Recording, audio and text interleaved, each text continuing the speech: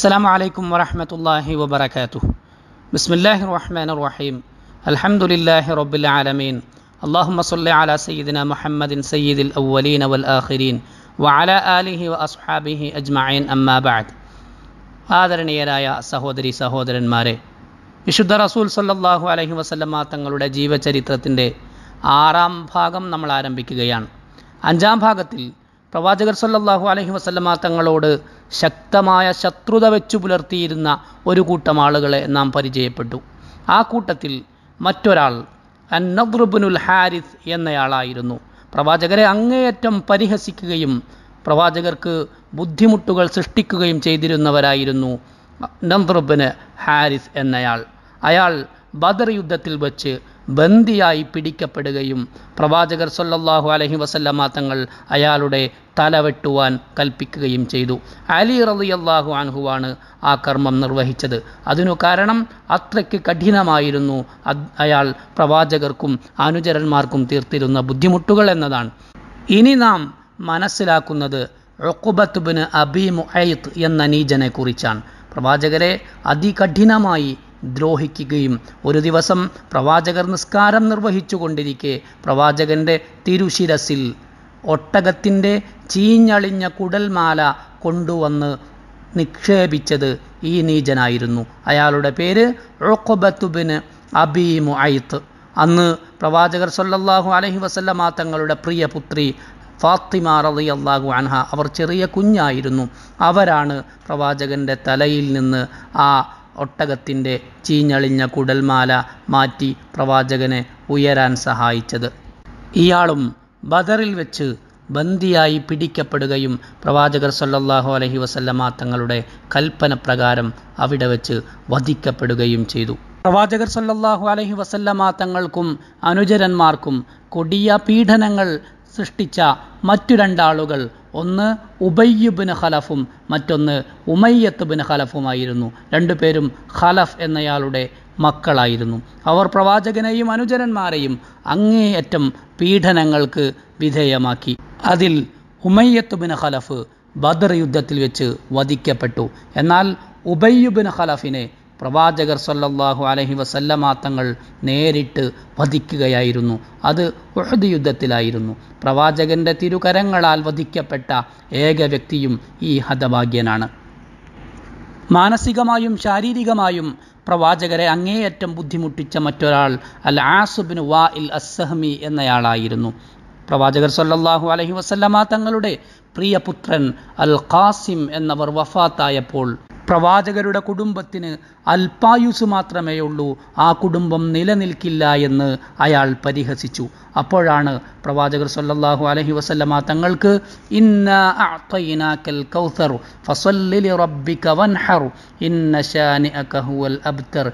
അൽ കൗസർ സൂറത്ത് അവതീർണമാവുന്നത്. നബിയെ അങ്ങയെ പരിഹസിക്കുന്നവരാണ് കുടുംബം അറ്റുപോയവർ ബന്ധങ്ങളില്ലാതായി പോയവരെന്ന് അയാളെ ഉദ്ദേശിച്ച് ആസുബിൻ വായിലിനെ ഉദ്ദേശിച്ച് വിശുദ്ധ ഖുർആൻ പ്രഖ്യാപിക്കുകയും ചെയ്തു. റുഖാനത്ത് ബിൻ അബ്ദു യസീദ് എന്നയൊരാളും പ്രവാചകരെ അങ്ങേയറ്റം പരിഹസിച്ചിട്ടുണ്ട്. അതിശക്തനും മല്ലയുദ്ധത്തിൽ വിദഗ്ധനുമായിരുന്നു അയാൾ. അയാൾ പറഞ്ഞു താങ്കൾ പറയുന്നത് സത്യമായിരിക്കാം. ഞാൻ ഒരിക്കലും കളവ് പറയുകയുമില്ല. അതുകൊണ്ട് ഒരു മല്ലയുദ്ധത്തിൽ എന്നെ നീ പരാജയപ്പെടുത്തുന്നുവെങ്കിൽ ഞാൻ നിന്റെ വിശ്വാസത്തിലേക്ക് വരാം. പ്രവാചകർ സല്ലാഹു അലഹി വസല്ലമ തങ്ങൾ ആത്മവിശ്വാസത്തോടെ അള്ളാഹുവിനു വേണ്ടി ആ വെല്ലുവിളി ഏറ്റെടുത്തു. അവർ രണ്ടുപേരും ഏറ്റുമുട്ടി. പ്രവാചകർ തുടർച്ചയായി മൂന്ന് പ്രാവശ്യം അയാളെ മലർത്തിയടിച്ചു. എന്നിട്ട് ഇസ്ലാമിലേക്ക് വരാൻ അയാളോട് അപേക്ഷിച്ചു. പക്ഷേ അയാൾ വിസമ്മതിച്ചു. മാത്രമല്ല പുതിയ ഒരു ഉപാധിയാണ് പിന്നീട് അയാൾ വെച്ചത്. ഞാൻ മുസ്ലിമാകണമെങ്കിൽ ആ കാണുന്ന മരത്തോട് ഇങ്ങോട്ട് വരാൻ നീ പറയണം. ആ മരം അപ്രകാരം വരികയും ചെയ്യണമെന്ന്. ഉടൻ തന്നെ പ്രവാചകർ ആ മരത്തിലേക്ക് ചൂണ്ടിയിട്ട് അക്ബിലി ഇങ്ങോട്ട് കടന്നു വരൂ എന്ന് പറഞ്ഞു. ആ മരം പ്രവാചകരുടെ കൽപ്പന ശിരസ വഹിച്ചുകൊണ്ട് മുന്നോട്ടാഞ്ഞു. പ്രവാചകർ പറഞ്ഞ സ്ഥലത്ത് വന്നു നിന്നു. അതുകൊണ്ടും ആ നീജൻ വിശ്വസിക്കാൻ തയ്യാറായില്ല. എന്നാൽ ആ മരത്തോട് തിരിച്ചു പോകാൻ പറയൂ എങ്കിൽ വിശ്വസിക്കാമെന്നായി പ്രവാചകർ അങ്ങനെയും ചെയ്തു. പക്ഷേ അയാൾ വിശ്വസിച്ചില്ല. അള്ളാഹു ഹിദായത്ത് നൽകിയില്ല. പ്രിയമുള്ളവരെ പ്രവാചകർ സല്ലല്ലാഹു അലഹി വസല്ലമ തങ്ങൾക്കും അനുചരന്മാർക്കും പീഡനങ്ങളേൽപ്പിച്ച അതിനീചരും നികൃഷ്ടരുമായ വ്യക്തികളെക്കുറിച്ചുള്ള നമ്മുടെ പഠനം ഇവിടെ അവസാനിക്കുകയാണ്. ഇനി നാം പ്രവാചകർ സല്ലല്ലാഹു അലഹി വസല്ലമാ തങ്ങൾ സ്വഹാബികൾക്ക് ഹിജ്റ പോവാൻ മക്ക വിട്ട് പാലായനം ചെയ്യാൻ അനുവാദം നൽകിയതുമായി ബന്ധപ്പെട്ട വിഷയങ്ങളിലേക്ക് കടക്കുകയാണ്. വിശ്വാസികളുടെ എണ്ണം ക്രമാനുഗതമായി വർദ്ധിക്കുകയും ശത്രുക്കൾ ശക്തമായ പീഡനങ്ങൾ ഏൽപ്പിക്കുകയും ചെയ്തുകൊണ്ടിരുന്നപ്പോൾ എന്റെ സമൂഹത്തിന്റെ സംരക്ഷണം എനിക്കു സാധ്യമല്ലെന്നു മനസ്സിലാക്കിയ പ്രവാചകർ സല്ലല്ലാഹു അലഹി വസല്ലമ തങ്ങൾ അവരോട് എത്യോപ്യയിലേക്ക് പാലായനം ചെയ്യാൻ ഹിജറ ചെയ്യാൻ നിർദ്ദേശം നൽകി. എത്യോപ്യയിൽ നീതിമാനായ ഒരു രാജാവുണ്ടെന്നും അയാൾ ആരെയും ആക്രമിക്കുകയില്ലെന്നും പ്രവാചകർ അവർക്ക് വാക്കു നൽകി. ആ നിർദ്ദേശം സ്വീകരിച്ചുകൊണ്ട് പ്രവാചകന്റെ അനുയായികൾ നജ്ജാശിയുടെ നാട്ടിലേക്ക് പലായനം ചെയ്തു. നുബൂവത്തിന്റെ അഞ്ചാം വർഷം റജബ് മാസത്തിലായിരുന്നു ഇത്. പന്ത്രണ്ട് പുരുഷന്മാരും നാല് സ്ത്രീകളും ഉൾപ്പെടുന്നതായിരുന്നു ആ സംഘം. ഉസ്മാൻ ബിൻ അഫ്ഫാൻ റതി അള്ളാഹു അൻഹുവായിരുന്നു അവരുടെ നേതാവ്. കൂടെ അദ്ദേഹത്തിന്റെ ഭാര്യ പ്രവാചകരുടെ പ്രിയപുത്രി റുഖയ്യ റതി അള്ളാഹു അൻഹയും ഉണ്ടായിരുന്നു. യാദൃച്ഛികമായി മക്കയിലെ ഷഹീബ തുറമുഖത്തുണ്ടായിരുന്ന രണ്ട് കപ്പലുകളിലായാണ് അവർ ഹബ്ഷയിലേക്ക് എത്തിച്ചേർന്നത്. ഏകദേശം രണ്ടു മാസക്കാലം അവർ സ്വസ്ഥമായി ഹബ്ഷയിൽ ജീവിച്ചു. അതേ വർഷം റമദാൻ മാസത്തിൽ പ്രവാചകർ സല്ലല്ലാഹു അലൈഹി വസല്ലമ തങ്ങൾ കഅബയുടെ പരിസരത്തിരിക്കുകയായിരുന്നു. കുറൈശികളിലെ പ്രമുഖരായ പല ആളുകളും അവിടെ ഉണ്ടായിരുന്നു. അവർക്ക് മുന്നിൽ വെച്ച് പ്രവാചകർ ധൈര്യസമേതം സൂറത്തുൻ നജും പാരായണം ചെയ്തു. പാരായണം അറിയാതെ അവരെല്ലാവരും കേട്ടിരുന്നു പോയി. അങ്ങനെ സൂറത്തുൻ നജ്മിന്റെ അവസാന ഭാഗത്ത് ഫസ്ജുദു ലില്ലാഹി വഅ്ബുദു നിങ്ങൾ അള്ളാഹുവിന് സുജൂത് ചെയ്യുകയും അവനെ ആരാധിക്കുകയും ചെയ്യുക എന്ന ഖുർആാനിന്റെ ആഹ്വാനം വന്നപ്പോൾ അറിയാതെ അവർ മുഴുവൻ അള്ളാഹുവിന് മുന്നിൽ സുജൂത് ചെയ്തു പോയി. പിന്നീട് അതവർക്ക് വലിയ അപമാനമായി മാറി. ആ രംഗത്തില്ലാതിരുന്നയാളുകൾ കുറേശിലെ പ്രമുഖരെ വിമർശിച്ചുകൊണ്ട് രംഗത്ത് വന്നു. അപ്പോൾ അവർ ഒരു പുതിയ കഥ പടച്ചുണ്ടാക്കുകയായിരുന്നു. അവർ പറഞ്ഞു മുഹമ്മദ് സല്ലാഹു അലഹി വസ്ല്ലം ഖുർആൻ പാരായണം ചെയ്തുകൊണ്ടിരിക്കെ ആ കൂട്ടത്തിൽ നമ്മുടെ ബിംബങ്ങളെ പ്രകീർത്തിച്ചിട്ടുണ്ട്. ഇവയെല്ലാം നല്ല ബിംബങ്ങളാണ്. അവയുടെ ശുപാർശ പ്രതീക്ഷിക്കപ്പെടാവുന്നതാണ്. എന്ന് മുഹമ്മദ് പാരായണം ചെയ്തതുകൊണ്ടാണ് ഞങ്ങൾ സുജൂത് ചെയ്തത് എന്നവർ വ്യാഖ്യാനങ്ങളുണ്ടാക്കി ന്യായീകരണങ്ങളുണ്ടാക്കി. അതേസമയം ഈ സംഭവത്തെക്കുറിച്ച് ഹബ്ഷയിൽ പരന്നത് മറ്റൊരു വാർത്തയായിരുന്നു. ശത്രുക്കളെല്ലാം പ്രവാചകരുടെ മുന്നിൽ വന്ന് മുസ്ലിങ്ങളായി തീർന്നിരിക്കുന്നെന്നും ഇനി മക്കയിൽ സ്വൈര്യമായി ജീവിക്കാമെന്നുമാണ് അവർക്കിടയിൽ വാർത്ത വരുന്നത്. അങ്ങനെ ഹബ്ഷയിൽ നിന്ന് രണ്ടു മാസക്കാലത്തെ ജീവിതത്തിനു ശേഷം മുഴുവൻ ആളുകളും മക്കയിലേക്കു തന്നെ തിരിച്ചു പോന്നു. അതേ വർഷത്തിലെ ഷവ്വാൽ മാസത്തിലായിരുന്നു ഇത്. മക്കയുടെ തൊട്ടടുത്തെത്തുമ്പോൾ മാത്രമാണ് അവർക്ക് സത്യാവസ്ഥ മനസ്സിലാകുന്നത്. അതുകൊണ്ട് അവരിൽ ചില ആളുകൾ ഹബ്ഷയിലേക്കു തന്നെ തിരിച്ചു പോവുകയും മറ്റു ചിലർ രഹസ്യമായോ അല്ലെങ്കിൽ മറ്റാളുകളുടെ സംരക്ഷണയിലോ മക്കയിലേക്ക് പ്രവേശിക്കുകയും ചെയ്തു.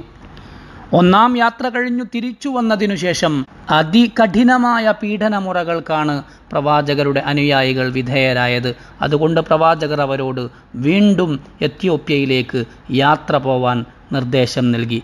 മുസ്ലിങ്ങളിൽ നിന്ന് ഒന്നാം പ്രാവശ്യം യാത്ര പോയതിൽ കൂടുതൽ ആളുകൾ പലായനം ചെയ്തതിലധികം ആളുകൾ രണ്ടാം ഘട്ടത്തിൽ പലായനത്തിന് സന്നദ്ധരായി.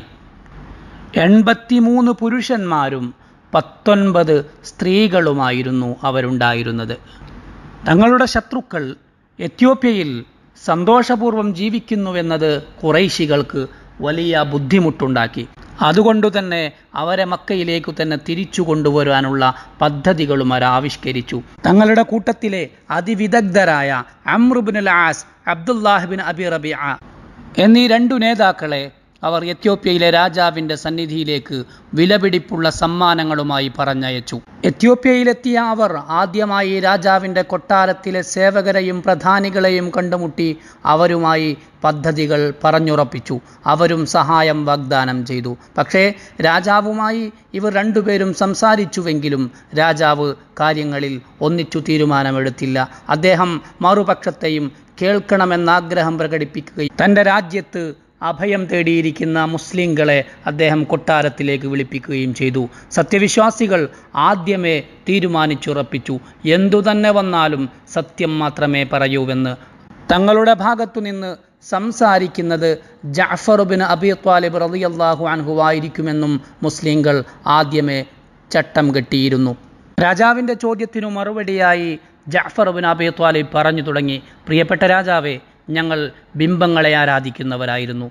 തിന്മകൾ ധാരാളമായി ചെയ്യുന്നവരും കുടുംബബന്ധം വിച്ഛേദിക്കുന്നവരും അയൽവാസികളോട് മോശമായി പെരു പെരുമാറുന്നവരും ഞങ്ങളിലെ ശക്തൻ ഞങ്ങളിലെ ദുർബലനെ ദുരുപയോഗം ചെയ്യുന്നവനുമായിരുന്നു. ഞങ്ങൾ അങ്ങനെ ജീവിക്കുമ്പോഴാണ് ഞങ്ങളിൽ ഒരു പ്രവാചകനാഗതനായത് സത്യസന്ധതയും വിശുദ്ധിയും ഞങ്ങളെ പഠിപ്പിച്ചു. അള്ളാഹുവിനെ മാത്രം ആരാധിക്കാൻ ഞങ്ങളെ ഉത്ബോധനം ചെയ്തു. ഞങ്ങളുടെ തിന്മകളിൽ നിന്ന് ഞങ്ങളെ ആ പ്രവാചകൻ മോചിപ്പിക്കുകയും ചെയ്തു. സത്യം മാത്രമേ പറയാവൂ എന്നും വിശ്വസ്തതയുണ്ടാവണമെന്നും കുടുംബബന്ധം ചേർക്കണമെന്നും അയൽവാസിയോട് നന്നായി പെരുമാറണമെന്നും അന്യന്റെ അവകാശങ്ങൾ അപഹരിക്കരുതെന്നും ഒരാളുടെയും രക്തം ഭൂമിയിൽ വീണുപോവരുതെന്നും ആ പ്രവാചകൻ ഞങ്ങളെ പഠിപ്പിച്ചു. നിസ്കാരവും നോമ്പും ഹജ്ജും ജക്കാത്തുമൊക്കെയാണ് ഞങ്ങൾ പഠിക്കുന്ന പാഠങ്ങൾ. ഇങ്ങനെ തുടങ്ങി വിശുദ്ധ ദീനുൽ ഇസ്ലാമിന്റെ സുന്ദരമായ പാഠങ്ങൾ ജാഫറുബിൻ ബിൻ അബി ത്വാലിബ് രാജാവിന് സുന്ദരമായി വിശദീകരിച്ചു കൊടുത്തു.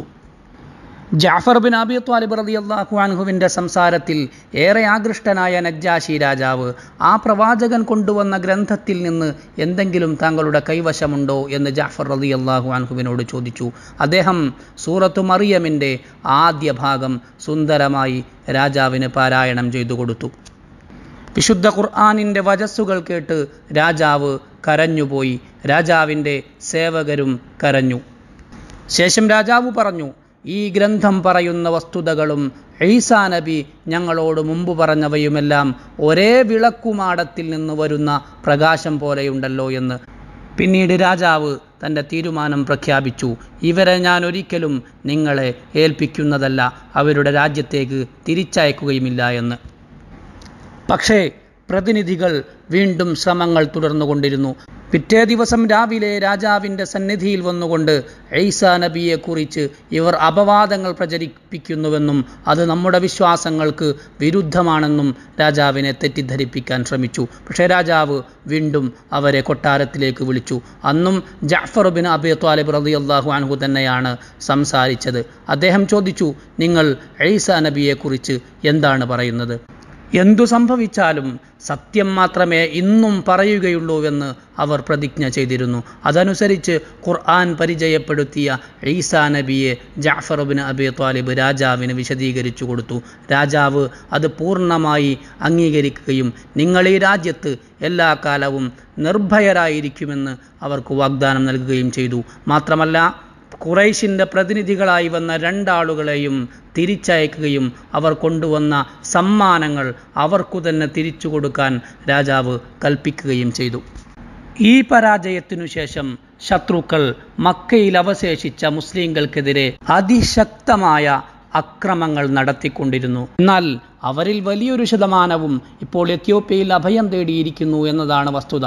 എന്നാൽ പ്രവാചകർ സല്ലാഹു അലഹി വസല്ലമാ തങ്ങൾ രഹസ്യമായും പരസ്യമായും തന്റെ പ്രബോധന പ്രവർത്തനങ്ങൾ തുടർന്നുകൊണ്ടിരിക്കുകയാണ്. മാത്രമല്ല അബൂ ത്വാലിബിന്റെ അംഗീകാരവും സംരക്ഷണവും പ്രവാചകന് എപ്പോഴും തണലായി കൂടെ നിൽക്കുന്നുമുണ്ട്. ഇനിയും ക്ഷമിച്ചാൽ കാര്യങ്ങൾ കൈവിട്ടുപോകുമെന്നു മനസ്സിലാക്കിയ ശത്രുപക്ഷം ഇപ്പോൾ പ്രവാചകനു നേരെയും കൈയോങ്ങിക്കൊണ്ടിരിക്കുകയാണ്.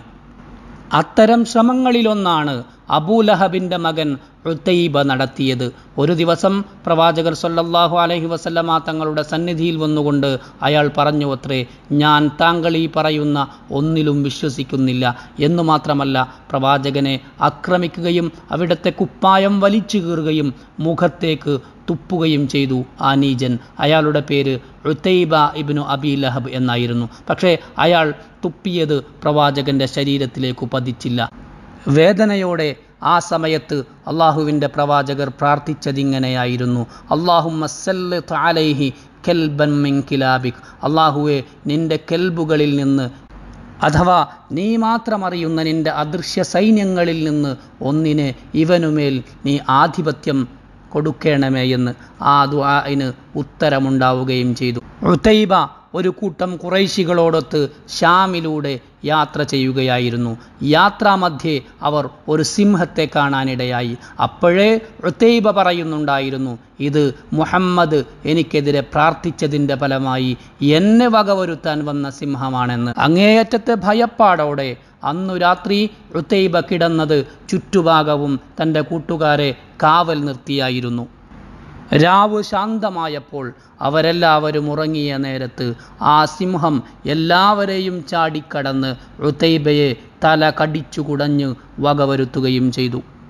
സഹോദരങ്ങളെ നാം നേരത്തെ പരാമർശിച്ചതുപോലെ ഒരു വലിയ വിഭാഗം ആളുകൾ എത്യോപ്യയിലേക്ക് യാത്ര പോയതിനു ശേഷം മക്കയിൽ സാഹചര്യങ്ങൾ കൂടുതൽ രൂക്ഷമായപ്പോൾ അബൂബക്കർ സദ്ദീഖ് റളിയല്ലാഹു അൻഹുവും എത്യോപ്യയിലേക്ക് പലായനം ചെയ്യാൻ തീരുമാനിച്ചു. പ്രവാചകൻ അദ്ദേഹത്തിന് അനുവാദം നൽകുകയും ചെയ്തു. അങ്ങനെ രണ്ടു ദിവസത്തോളം അബൂബക്കർ സദ്ദീഖ് റളിയല്ലാഹു അൻഹു യാത്ര ചെയ്തു കഴിഞ്ഞപ്പോൾ ഇബിനുദ്ദുഗുന്ന എന്നയാളെ അദ്ദേഹം കണ്ടുമുട്ടി. അദ്ദേഹം അഹ്ബാഷുകളുടെ നേതാവായിരുന്നു. ഇബിനുദ്ദുഗുന്ന അബൂബക്കർ റളിയല്ലാഹു അൻഹുവിനോട് എങ്ങോട്ടാണ് യാത്രയെന്ന് ചോദിച്ചു.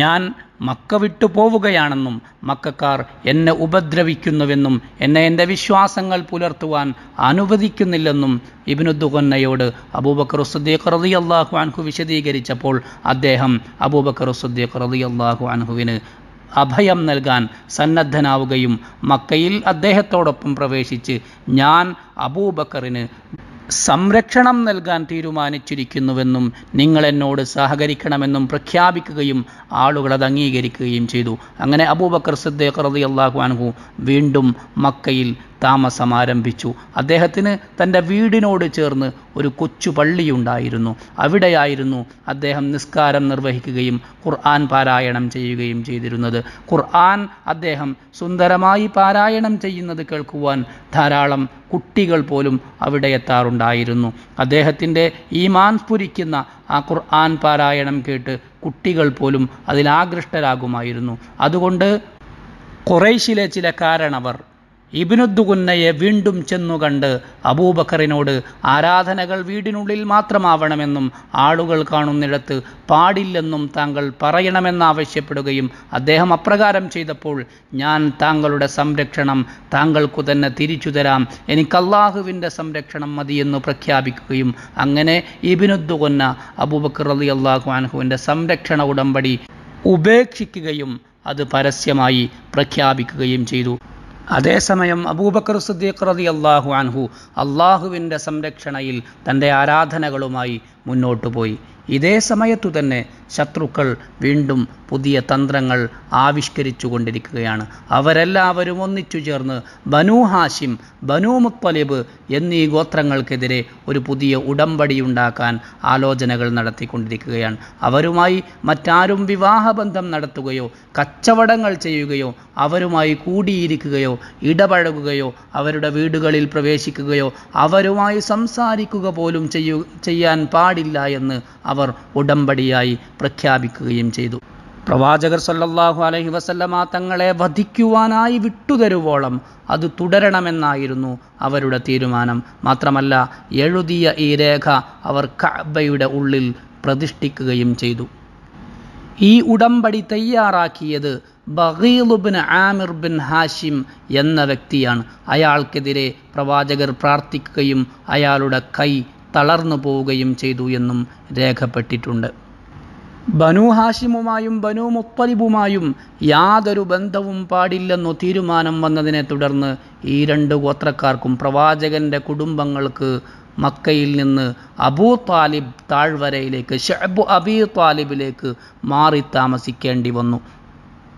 പിന്നീട് ഉപരോധം ശക്തമായി അവർക്ക് അന്നപാനാദികൾ പോലും ലഭിക്കാതായി. സ്ത്രീകളും കുട്ടികളും പുരുഷന്മാരും മുതിർന്നവരുമെല്ലാം ഇതിലുൾപ്പെട്ടു വിശ്വാസികളും അവിശ്വാസികളും വരെ ഇതനുഭവിക്കേണ്ടി വന്നു. നുബൂവത്തിന്റെ ഏഴാം വർഷമായിരുന്നു ഇത് സംഭവിച്ചത്. ഏകദേശം മൂന്ന് വർഷക്കാലം ഈ ശക്തമായ ഉപരോധം നിലനിൽക്കുകയുണ്ടായി. അതിരൂക്ഷമായ പട്ടിണിയും ക്ഷാമവും നിമിത്തം അവർക്ക് പച്ചിലകൾ മാത്രം ഭക്ഷിക്കേണ്ടി വന്നു. കുഞ്ഞുങ്ങളുടെ കൂട്ടക്കരച്ചിലുകൾ വിവിധ ഭാഗങ്ങളിൽ നിന്ന് ദൂരദിക്കുകളിലേക്ക് പോലും കേൾക്കാമായിരുന്നു. പിന്നീട് ഉന്നത കുലജാതനും മാന്യനുമായ ഹിഷാമുബിന് അമ്രുബിന് റബിയ എന്ന് പറയുന്ന ഒരു വ്യക്തി കുറൈശികളിലെ പല ആളുകളെയും കണ്ടുമുട്ടുകയും നമ്മൾ ഈ ചെയ്യുന്ന അനീതി അവസാനിപ്പിക്കണമെന്ന് തീരുമാനിക്കുകയും പലരുമായും ആ വിഷയത്തിൽ സംസാരിക്കുകയും ചെയ്തു. അവർ അഞ്ചു പേരാണുണ്ടായിരുന്നത്.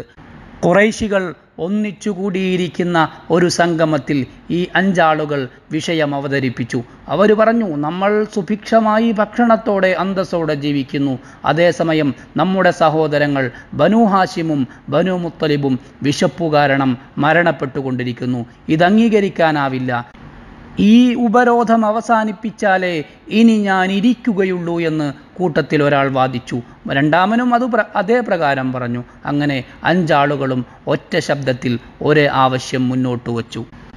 അൽ മുത്തൈമുബിന് അദി എന്നയാൾ ആ ഉടമ്പടി ആ കരാർ പത്രം വലിച്ചു കീറുവാൻ മുന്നോട്ടാഞ്ഞു. കഅബയുടെ ഉള്ളിൽ ചെന്നു നോക്കുമ്പോൾ ആ ഉടമ്പടി പൂർണമായും ചിതൽ തിന്നു നശിപ്പിച്ചിരിക്കുന്നു. അതിൽ ബാക്കി നിൽക്കുന്നത് ബിസ്മിക്കല്ലാഹുമ്മ എന്ന ഒറ്റ വാചകം മാത്രമായിരുന്നു.